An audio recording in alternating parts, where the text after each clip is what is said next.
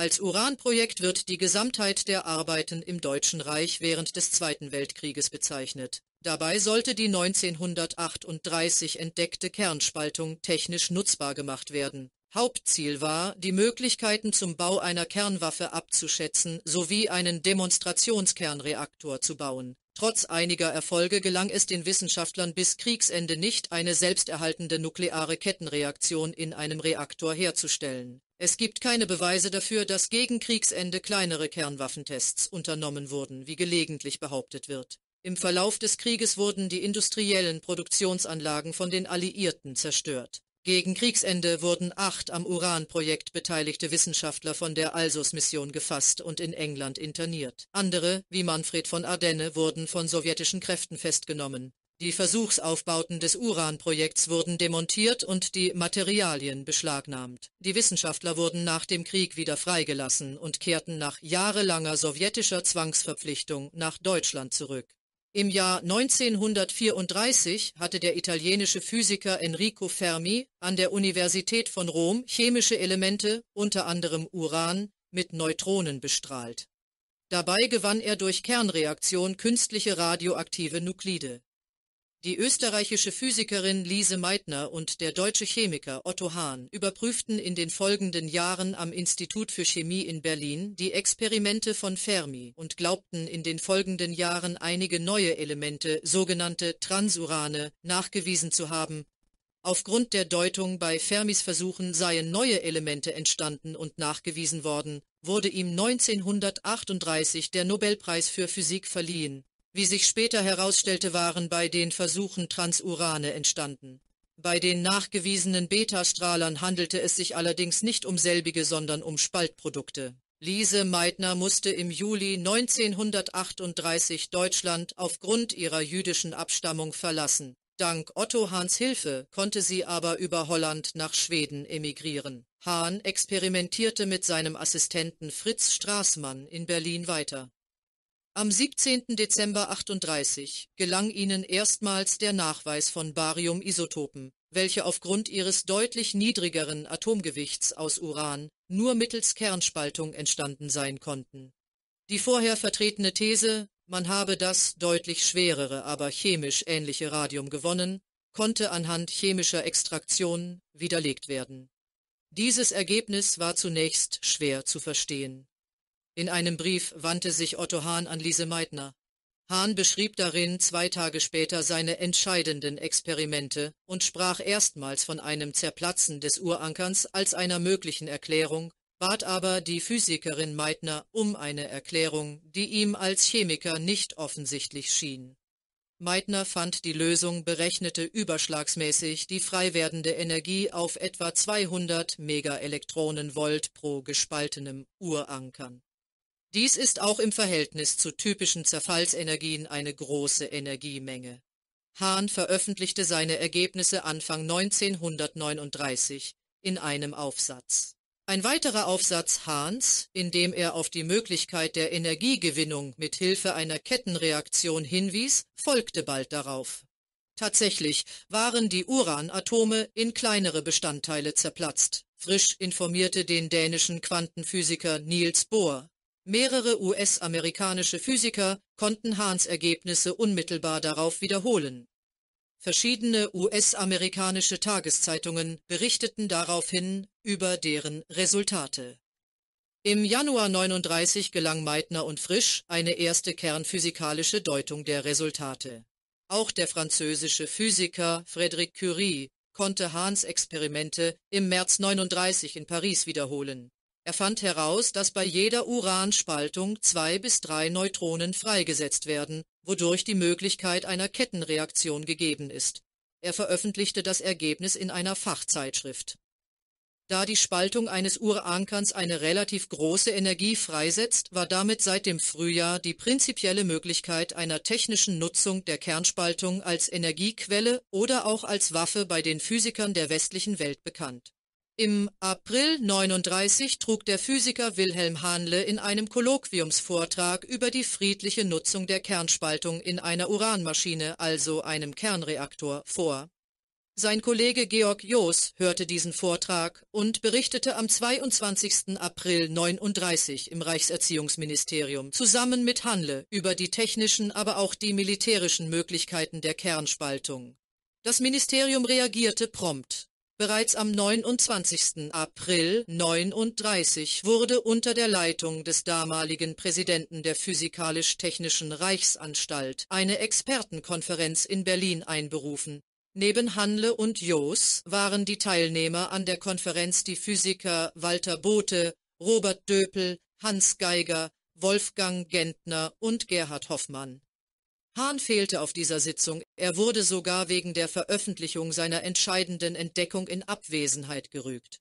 Die versammelten Physiker fassten auf dieser Konferenz die folgenden Beschlüsse. Erstens die Herstellung eines Kernreaktors, genannt Uranbrenner. Zweitens die Sicherstellung aller Uranvorräte in Deutschland. Und drittens die Zusammenführung der führenden deutschen Kernphysiker zu einer Forschungsgruppe.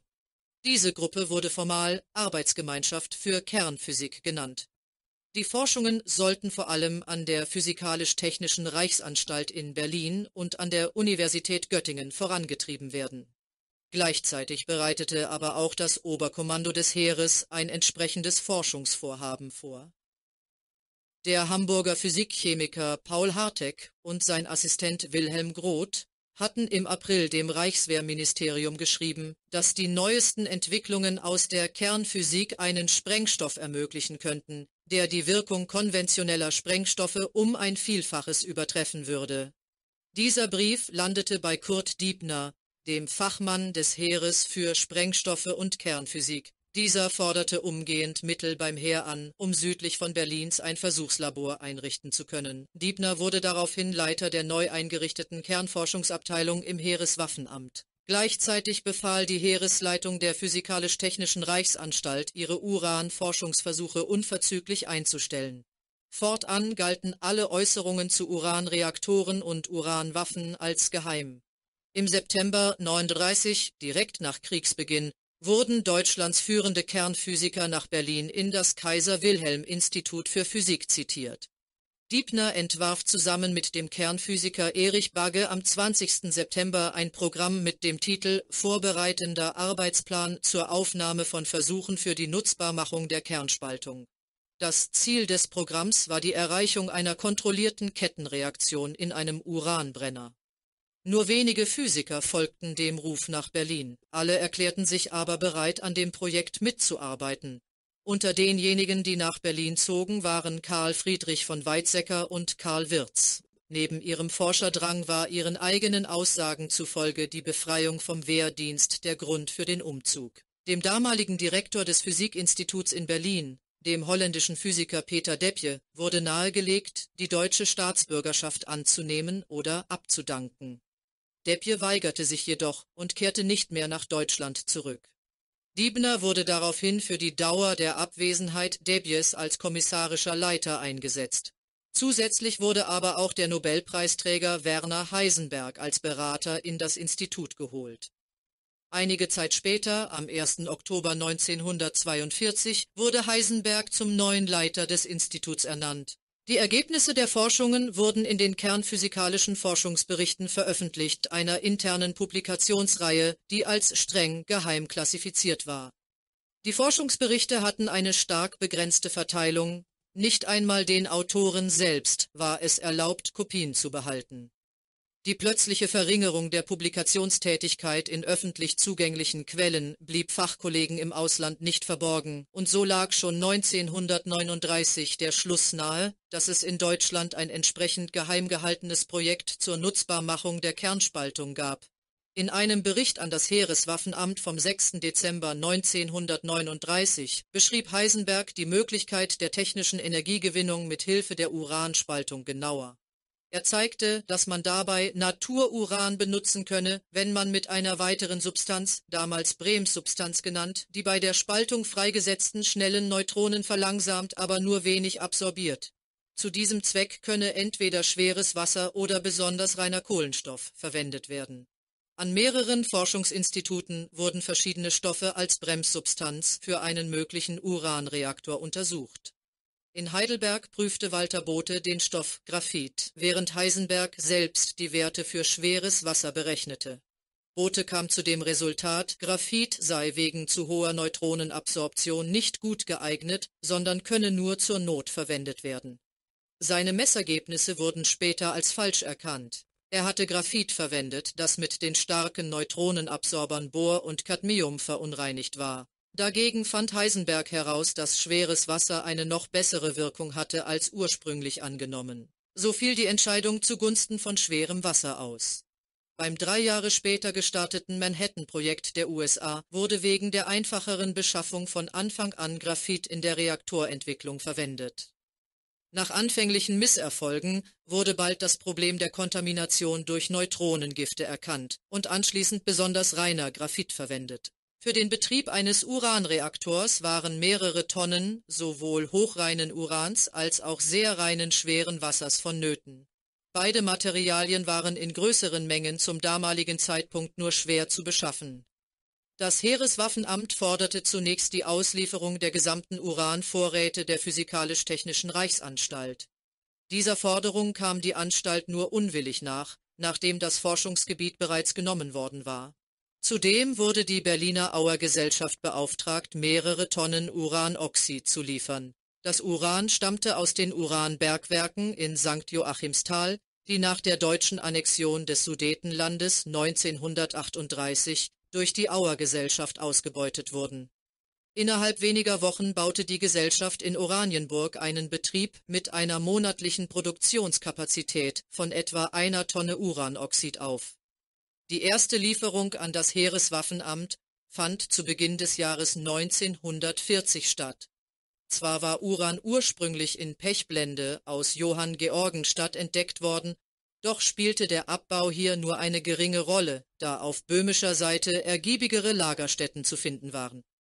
Ende Mai konnten im Zuge der Besetzung Belgiens ein Großteil der Uranvorräte erbeutet werden. Auch die Amerikaner nutzten Uran aus dem Kongo. Während der folgenden fünf Jahre schafften die deutschen Truppen 3500 Tonnen Uranverbindungen aus Belgien in das Kaliwerk Friedrichshall bei Leopoldshall. Aus diesen Vorräten stillte die Auer Gesellschaft bis Kriegsende ihren weiteren Uranbedarf.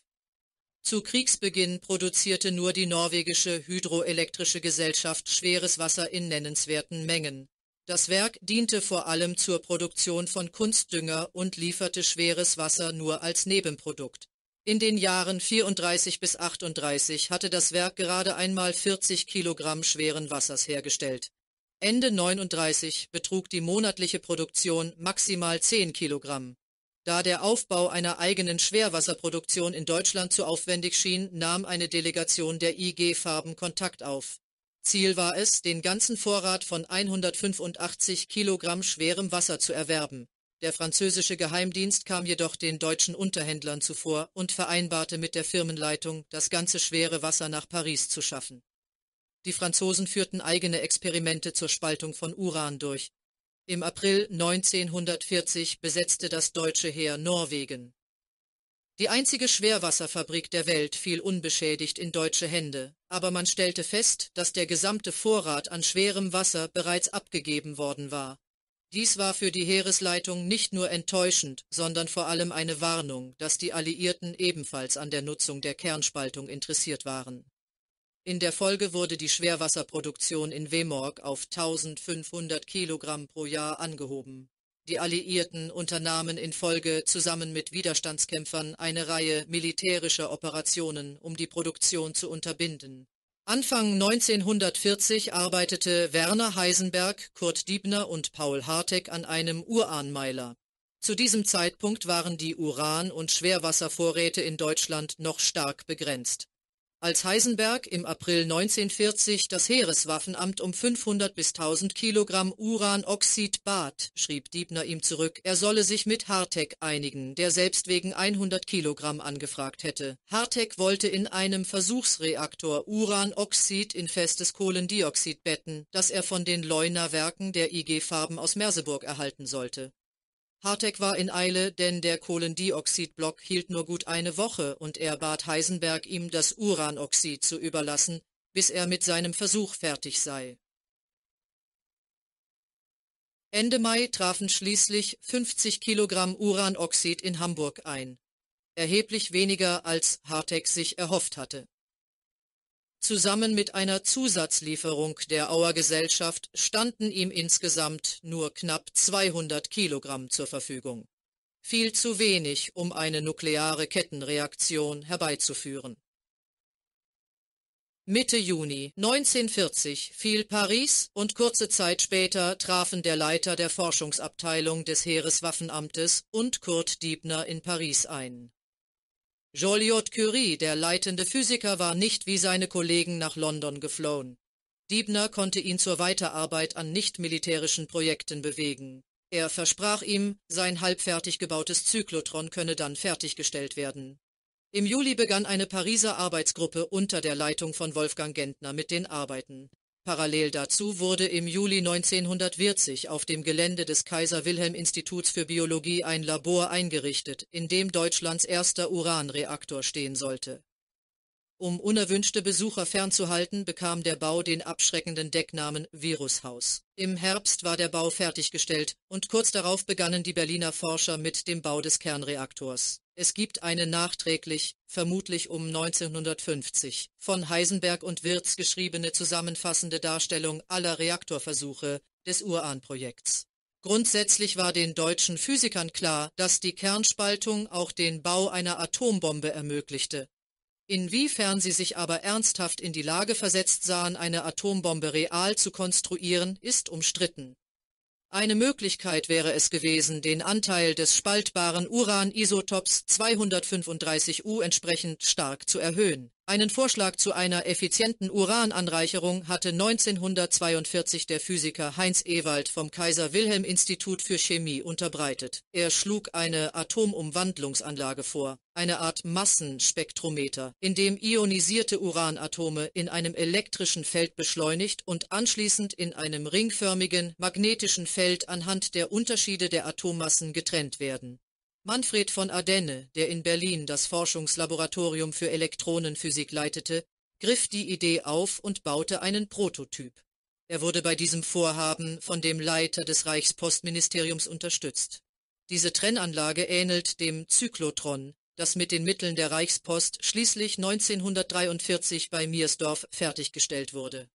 Auf dem Gelände eines Luftwaffenstützpunktes wurde ein Ringbunker gefunden, der der Zyklotronhalle in Miersdorf entspricht.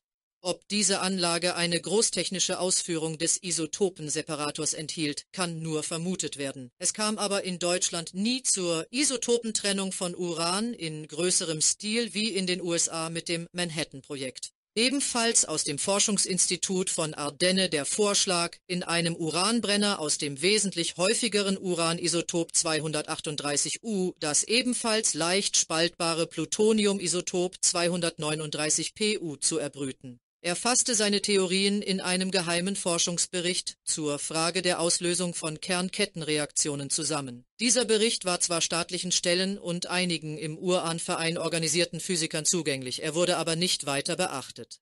Karl Friedrich von Weizsäcker berichtete an das Heereswaffenamt von der Möglichkeit, 239 Pu könne zum Bau sehr kleiner Maschinen als Sprengstoff und zur Umwandlung anderer Elemente genutzt werden. Vom Frühjahr 1941 ist ein Patententwurf Weizsäckers bekannt. Es beinhaltet neben Ansprüchen auf Kernreaktoren ein Verfahren zur explosiven Erzeugung von Energie und Neutronen, das in solcher Menge an einen Ort gebracht wird. Dieser Entwurf hatte jedoch keinen Bestand und wurde innerhalb der Uranarbeitsgruppe am Kaiser-Wilhelm-Institut überarbeitet und ausgeweitet. Die erweiterte Liste der Patentansprüche zu einer, Zitat Uranmaschine vom August 41 gibt keinen Hinweis mehr auf eine Bombe. Die Diskussion über die Vorschläge zur Entwicklung einer Uranbombe kam nur schleppend voran. Bei einigen führenden deutschen Forschern zeigten sich jetzt Skrupel, inwieweit sie sich überhaupt im Uranprojekt engagieren sollten. In der Woche vom 15. zum 21. September 1941 besuchte Werner Heisenberg auf Vorschlag und Vermittlung von Karl Friedrich von Weizsäcker seinen früheren Mentor Niels Bohr. Über Intention der Reise und Verlauf des Gesprächs gibt es unterschiedliche Aussagen. Das Gespräch verlief jedenfalls für beide Seiten unerfreulich. Ein Theaterstück von Michael Freien mit dem Titel Kopenhagen hat dieses Treffen zum Inhalt. Ende 1941 geriet die deutsche Kriegswirtschaft nach dem nun sehr belastenden Russlandfeldzug unter Druck. Das Uran-Projekt versprach nicht, in absehbarer Zeit zu einer Anwendung zu kommen. Daher beschloss das Heereswaffenamt, das Projekt aus der Kontrolle des Heeres zu entlassen und es dem Reichsforschungsrat zu übergeben der Reichsforschungsrat gab das Forschungsprojekt an seine Fachsparte Physik weiter und so landete das Uranprojekt zur Jahreswende wieder bei Abraham Esau, dem es bei Kriegsbeginn entzogen worden war. Ein Jahr später wurde er sogar zum Bevollmächtigten für Kernphysik ernannt und er konnte von da an sämtliche physikalischen Forschergruppen kontrollieren. Die deutschen Forschungen zum Bau eines Kernreaktors waren bis dahin jedoch kaum vorangekommen. Der Engpass des Vorhabens war weiterhin der Mangel an schwerem Wasser sowie an hoch angereichertem Uran, von dem auch nur eine geringe Menge hatte gewonnen werden können. Da die bislang hergestellten Materialien nicht ausreichten und zudem die Anlagen im Ausland für Angriffe verletzbar waren, versuchte man deren Produktion auch in Deutschland anzukurbeln mit den Leunawerken wurde der Bau einer Schwerwasseranlage in Merseburg vereinbart. Im Gegenzug sollte Leuna über den aktuellen Forschungsstand zur Energiegewinnung aus Uran informiert werden. Die Degussa in Frankfurt sollte fortan das Uranmetall beschaffen. Die ersten Uranlieferungen gingen an die physikalischen Institute in Leipzig, damit dort endlich der erste Uranbrenner der Welt in Gang gesetzt werden konnte. Er wurde von Werner Heisenberg, dem Theoretiker, entworfen und zusammen mit dem Experimentalphysiker Robert Döpel realisiert. Im Sommer 1942 gelang Robert Döpel der Nachweis einer Neutronenvermehrung in einer kugelförmigen Schichtanordnung von Uranpulver und schwerem Wasser, noch vor dem Team von Enrico Fermi in Chicago. Die Demonstration der Neutronenvermehrung gelang in den USA Ende Juli 1942. Enrico Fermi, der mit seinem Kernreaktorteam die Deutschen bald überholte, hatte eine Doppelbegabung für theoretische und experimentelle Arbeiten. Schon seit dem Frühjahr 1939 hatte er an dem Problem gearbeitet. Er sprach damals mit Heisenberg bei dessen letztem USA-Besuch vor dem heraufziehenden Krieg über die Gefahren, die beiden bewusst waren. Am 4. Juni 1942 wurde Heisenberg zusammen mit den leitenden Wissenschaftlern des Uranprojekts zu einer Geheimsitzung nach Berlin berufen. Dabei wurde er aufgefordert, Albert Speer, dem neuen Reichsminister für Bewaffnung und Munition, Bericht zu erstatten und ihm Entscheidungsgrundlagen für die Zukunft der deutschen Uranforschung zu liefern. Auf die Frage, wie groß denn eine Uranbombe wäre, deren Wirkung genügen würde, um eine große Stadt zu zerstören, antwortete Heisenberg so groß wie eine Ananas. Er bezog sich dabei vermutlich nur auf die eigentliche Sprengladung. Die Heeresleitung war beeindruckt, bekam aber auch Zweifel. Heisenberg betonte, dass sich eine solche Bombe nicht innerhalb weniger Monate entwickeln ließe und ihre Herstellung derzeit wirtschaftlich unmöglich sei. Der Bau eines Kernreaktors wäre dagegen von großer wirtschaftlicher und militärischer Bedeutung, insbesondere für die Zeit nach dem Krieg. Das Uran-Projekt wurde daraufhin zwar nicht eingestellt, aber auch nicht besonders weiter gefördert. Immerhin genehmigte Speer den Bau eines Bunkers auf dem Gelände des Kaiser-Wilhelm-Instituts für Physik in Berlin, in dem der erste große deutsche Uranmeiler aufgebaut werden sollte. Drei Wochen später ereignete sich im Leipziger Forschungsreaktor ein folgenschwerer Unfall. Für die Uranmaschine waren 750 Kilogramm Uranpulver und 140 Kilogramm schweres Wasser in zwei fest miteinander verschraubte Halbkugeln aus Aluminium gefüllt und diese in einem Wassertank versenkt worden. Das Experiment schien erfolgreich zu verlaufen, denn es wurden mehr Neutronen erzeugt als verbraucht, was vorangegangene Experimente endgültig bestätigte. Monatelang hing die Kugel so im Wasserbehälter, bis aus ihr am 23. Juni 42 plötzlich Wasserstoffblasen entwichen. Die Kugel erwärmte sich in der Folge, aber nach einem erfolglosen Öffnungsversuch schnell wieder im Wassercontainer versenkt. Die Kugel erhitzte sich weiter, bis gegen Abend das Wasser zu brodeln begann. Wenig später explodierte die Kugel und setzte den Raum mit Uran in Brand. Heisenberg und das Ehepaar Döpel kamen nicht zu Schaden, da sie nicht zugegen waren. Erste Löschversuche Döpels blieben weitgehend erfolglos.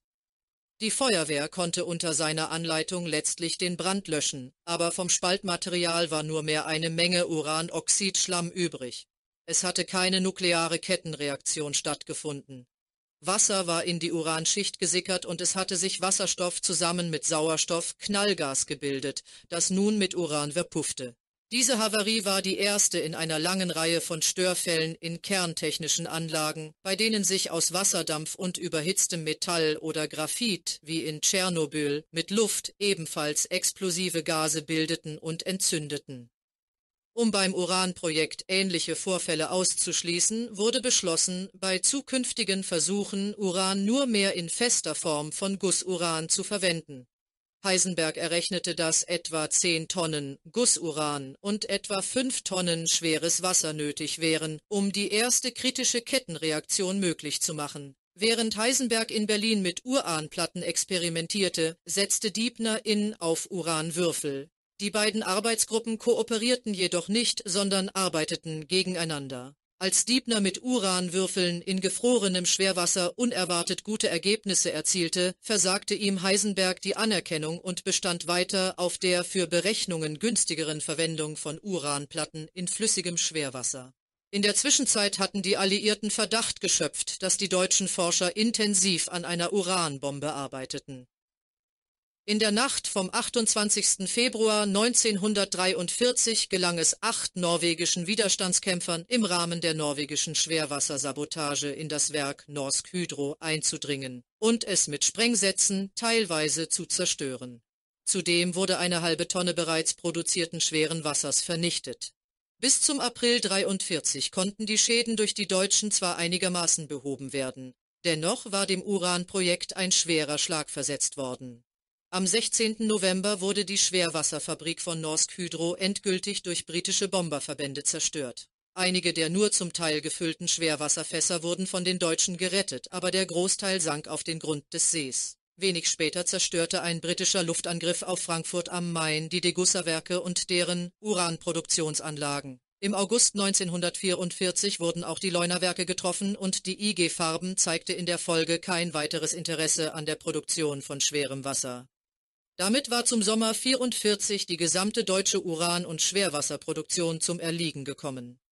Insgesamt verfügten die deutschen Physiker gegen Ende des Krieges über höchstens 2,5 Tonnen schweren Wassers, und es war fraglich, ob diese Menge für den Betrieb eines Uranmeilers ausreichen würde. Am 23. Oktober 43 wurde Walter Gerlach zum Leiter der Fachsparte Physik im Reichsforschungsrat ernannt und damit Leiter des Uranprojekts. Zum Jahreswechsel übernahm Gerlach auch den Posten als Bevollmächtigter für Kernphysik von dem Physiker Esau. Esau hatte sich bei der Leitung der Kaiser-Wilhelm-Gesellschaft und bei Albert Speer unbeliebt gemacht hatte. In der Folgezeit versagte Gerlach die ihm verfügbaren Gelder den Forschungsprojekten mit militärischen Anwendungsbereichen wie dem Uranprojekt oder den mittlerweile einsetzbaren Teilchenbeschleunigern und setzte sie stattdessen vor allem für Projekte der Grundlagenforschung ein.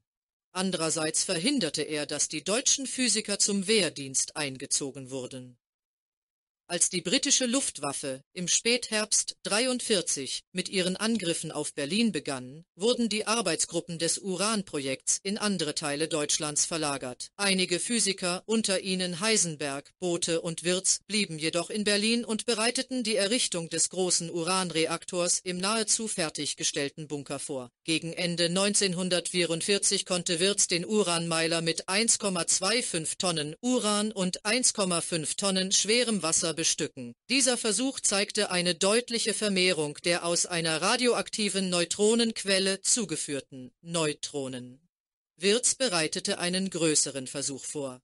Nachdem die Rote Armee am 30. Januar 45 die Oder überquert hatte und ihr Vorstoß auf Berlin absehbar war, gab Gerlach die Anweisung, Berlin zu verlassen. Das Uran und das schwere Wasser wurden zu Diebner verfrachtet und die Physiker flohen. Die USA hegten schon lange die Befürchtung, dass die Deutschen an einer Uranbombe arbeiteten und hatten 43 die militärische Alsos-Mission aufgestellt. Deren Ziel war es, den Stand des deutschen Uranprojekts zu erkunden die Forschungen zu unterbinden und der Physiker habhaft zu werden. Im Zuge der Alsos-Mission wurde der Reaktor zerstört, alle Materialien und Forschungsberichte beschlagnahmt und zur Analyse in die USA geschafft. Die deutschen Wissenschaftler des Uranprojekts wurden verhaftet. Die Elite der deutschen Atomforschung wurde im Rahmen der Operation Epsilon in den britischen Landsitz Farm Hall gebracht. Sie verbrachten die Zeit in dem idyllisch gelegenen Backsteinbau und den umliegenden Gärten mit Faustball, Billard, Bridge und Diskussionen. Die Gespräche der Wissenschaftler wurden durch das englische Militär abgehört und aufgezeichnet. Am 6. August 1945 erhielt der diensthabende Offizier des Internierungslagers den Befehl, dass seine Gefangenen um 18 Uhr Radio hören sollten. Rittner sollte dabei die Reaktionen der Männer auf die Meldungen verfolgen.